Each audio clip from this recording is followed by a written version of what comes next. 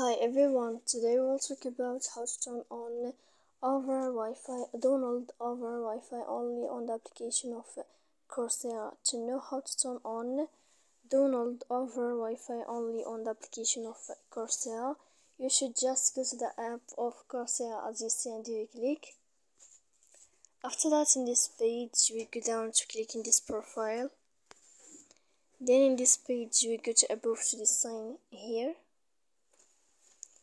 then you will find this sign we click if this sign changed the blue color then you can know how to turn on download over Wi-Fi only on the application of Coursera as you see here.